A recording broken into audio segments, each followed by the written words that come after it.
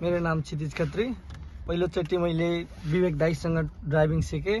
त्यसपछि समिन्द्र सरसँग ड्राइभिङ सिकेँ।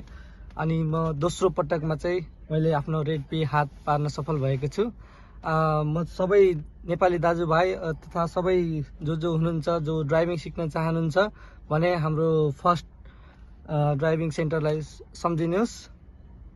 धन्यवाद। अनि तपाईँको यो चाहिँ सेकेन्ड एटेम्पमा हजुर। भयो होइन? फर्स्ट हजुर। एटेम्पमा चाहिँ अलिकति आफ्नै सिल्ली मिस्टेक हजुर मेरो फर्स्टमा चाहिँ एकदम धेरै त्यो ब्लन्डर मिस्टेक नै भयो हो। अब जे होस् खुसी छु। आज चाहिँ हजुरले गर्दा यहाँ रेड पे हात पऱ्यो मेरो। कति आवर जति तपाईँले? मैले लगभग ट्वेन्टी आवर जति सिकेँ र हजुरसँग बेगदाईसँग गरेर अलमोस्ट ट्वेन्टी आवर्स सिकेँ र त्यो हात पार्न सफल भएको छु। ल हस् thank you congratulation thank you